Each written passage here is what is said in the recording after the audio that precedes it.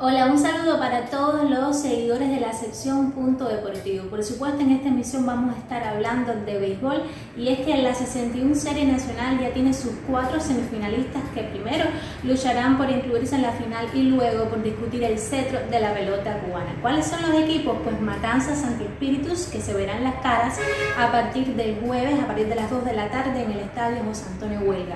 Mientras que el viernes, Ciego de Ávila y en este caso Granma van a contender desde el Mártires de Barbados. Sobre cómo llegan estos equipos a esta gran fiesta conversamos aquí en Punto Deportivo. Comenzamos por Matanzas. Matanza, que es el actual subcampeón nacional, por supuesto, que ofrece garantías para acceder a la final de la pelota cubana. Matanzas, que si bien hace rato que ya superó a las Tunas, tendría que entrar digamos, un nuevo ritmo competitivo, viene de superar a las Tunas, precisamente, que hacía cuatro años consecutivos se había mantenido en el podio de premiaciones. Ahora Matanzas frena esto, cambia la historia.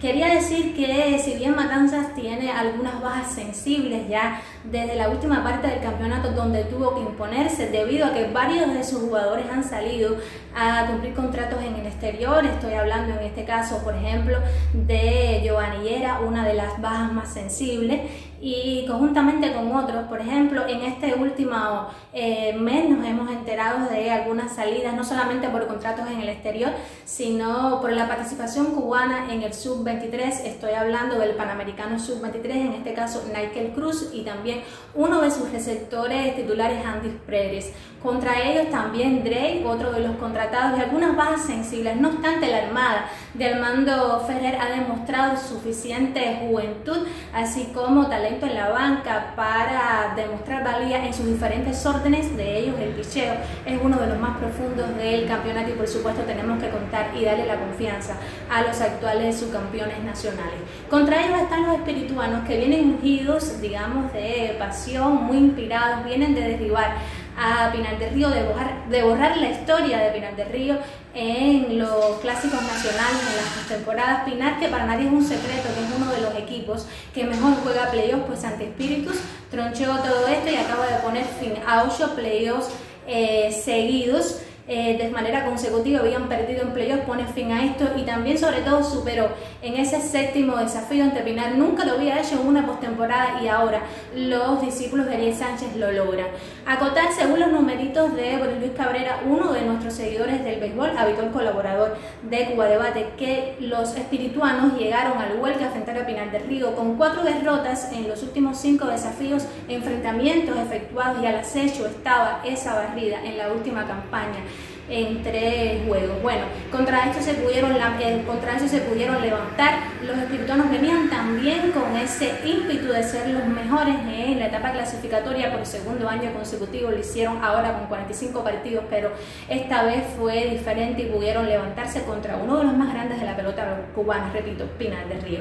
Ahora valoremos el otro Ciego Ávila, Granma. Comienzo a hablar de Granma, los actuales campeones nacionales. Por supuesto, mi confianza para ellos desde ahora mismo. Granma que también es otro de los conjuntos que tiene algunas bajas sensibles, ya lo venimos diciendo, los primos Roel y Raico Santos, también Guillermito García de España, por supuesto, pero han sido conjuntamente con Matanzas uno de los equipos que ha demostrado tener suficiente juventud y la hermana de Carlos Martí, por supuesto, irá por revalidar el cetro con un relevo, eh, un picheo de relevo respetable. Para ellos, por supuesto, la garantía además comienzan como locales. Enfrentarán al Ciego de Ávila.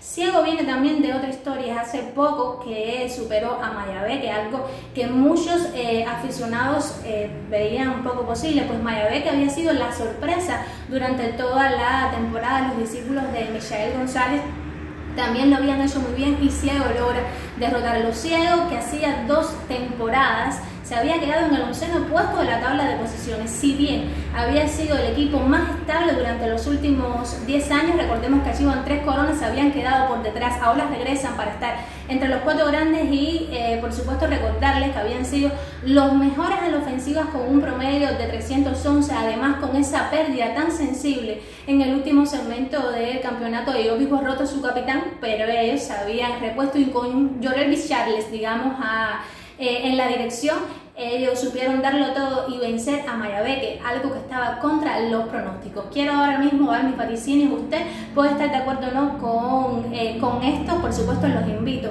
a dejarlo en sus comentarios. Creo que si bien Santi Espíritus está ahora mismo un mejor momento, tiene una nómina más completa, todavía me voy por Matanzas a pesar de sus ausencias. Y en este caso en el playoff entre Granma y Ciego de Ávila le doy el voto de confianza a los actuales campeones Granma. Y si usted puede estar de acuerdo o no, estos son mis vaticinios, por supuesto, Anita está grabando y después eh, veremos, está todo eh, patentizado, está aquí en el punto deportivo y nos veremos las caras en las próximas emisiones ya para hablar de los finalistas de la pelota cubana.